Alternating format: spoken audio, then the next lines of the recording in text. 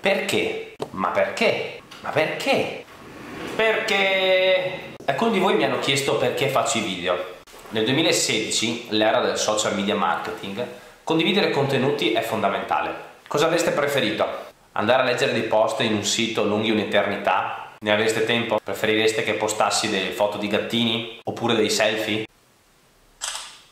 Credo che la cosa più utile e più immediata sia quella di realizzare dei video. L'idea è quella di creare comunque un prodotto di qualità e che offra un servizio all'utente finale, che siete voi.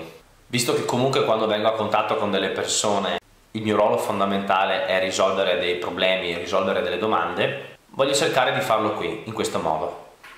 Dite la verità poi, non aspettate altro voi alle 10 di mattina che vedere la mia faccia, no? E poi alla fine è anche divertente. Sì, ho capito, ma perché? Perché no?